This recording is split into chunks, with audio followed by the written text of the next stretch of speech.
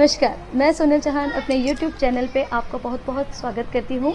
जैसा कि मेरा पिछला वीडियो था, हरियाली तीज का आपने बहुत पसंद किया था तो उसको देखते हुए मेरी इच्छा हुई कि मैं एक बार फिर से एक नया वीडियो बनाऊँ, और उसके कुछ समय बाद ही आ गई हरी कजली तीज। और ये कजली तीज राजस्थान में कैसे मनाते हैं, इसके बारे में मैं आपको बताना चाहूँगी।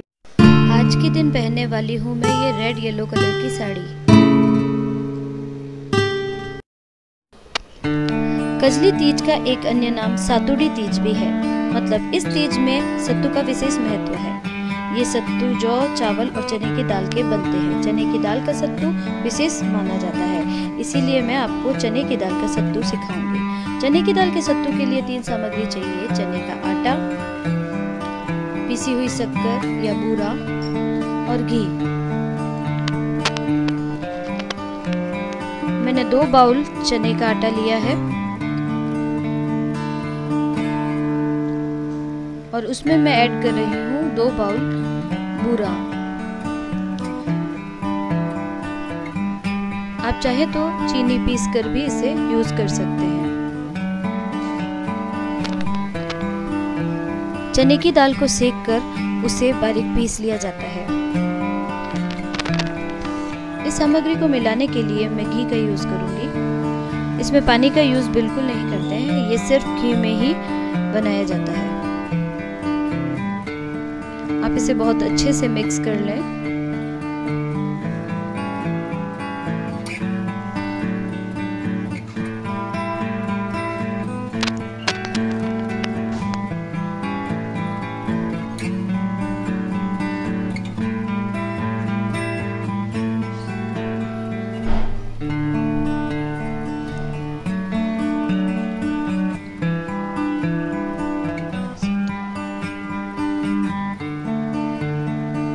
यह सत्तू भोग में चढ़ता है, इसीलिए इसे बहुत ही ध्यान से बनाकर अलग रख दिया जाता है। इसकी सजावट हम ड्राई फ्रूट से करते हैं और इसके बीच में चांदी का सिक्का लगा दिया जाता है और उस पर कुमकुम की बिंदी लगाई जाती है। कुछ लोग उस पर स्वास्तिक भी बनाते हैं। इसी चांदी के सिक्के से हम इसे तोड़कर भोग लगाते हैं और व्रत खोलते समय भी हम प्रथम ग्रास इसी सत्तू का लेते हैं।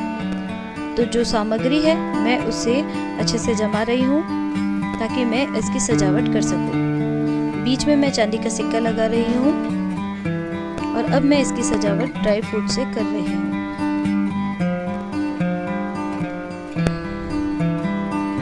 हम इसमें लौंग भी लगाते हैं, ताकि ये काफ़ी समय तक खराब ना हो, और एक अच्छी खुशबू भी दे।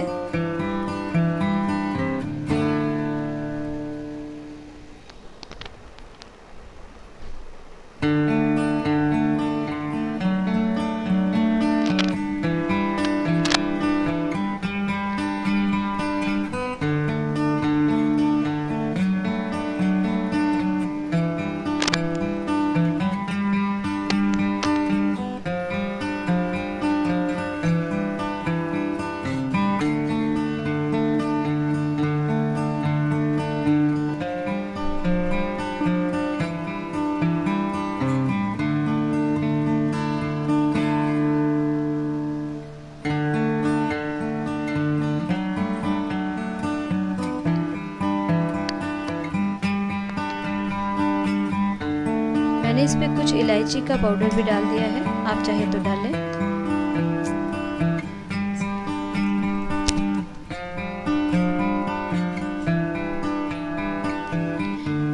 मेरा सत्तू तैयार है।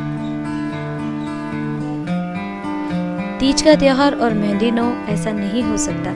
इसीलिए मेहंदी लगाने का काम मैं दिन में करती हूँ। ताकि मेहंदी में बहुत आराम से लगा सकूँ, उसे एंजॉय कर सकूँ।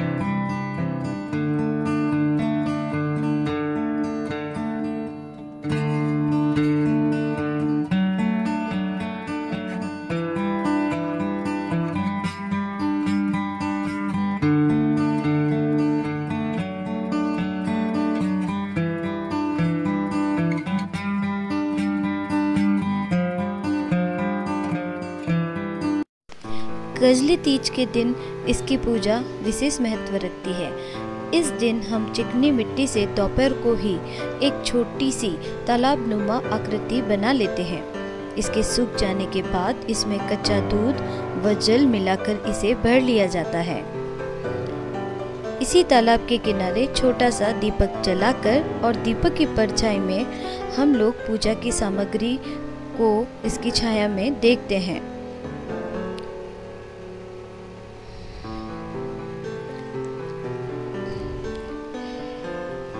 इसी तालाब के अंदर हम सत्तू, मोती, नींबू, फल आदि की छाया देखते हैं। अब मैं इस तालाब को वाइट स्टोन से सजा रही हूँ। इसके बाद मैं इसे कुछ कलरफुल स्टोन से भी सजा रही हूँ। नीम की डाली को हम इसके एक तरफ़ लगा देते हैं ताकि नीम की परछाई भी इस तालाब में देखी जा सके।